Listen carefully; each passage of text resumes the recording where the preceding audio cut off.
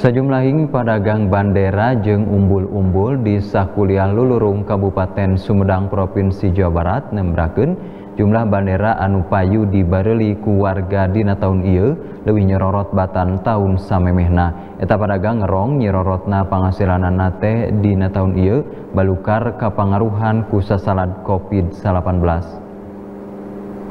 Nggoni ngarah-rah milangkala ke-75 kemerdekaan Republik Indonesia. Sababaraha padagang bandera kiwari mimiti naraba meh di lulurung jalan di sakuliah lemah cai.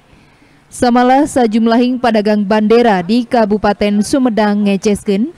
Oplah dagangan bandera jeung aksesoris kemerdekaan sejena kawas umbul-umbul nalika sasalad COVID-19 ayeuna leuwih nyerorot batan sawatara tahun samemehna. Penghasilanana dina tahun ieu ngurangan genep puluh tepi ka 80 persen batan satahun saacana. Masa pandemi pasti terdampak terdampak kena tukang bendera maksudnya pembeli daya beli masyarakat sekarang kurang daya beli masyarakat kurang terus gimana ya uh, di instansi-instansi kurang sekarang.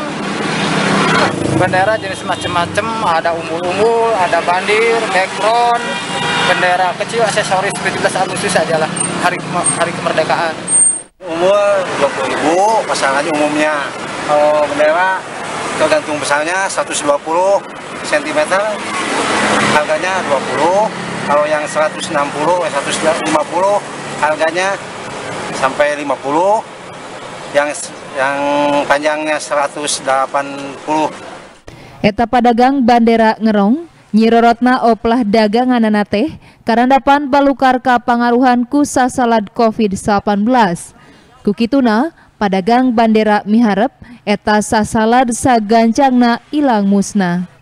Diki Guntara Bandung TV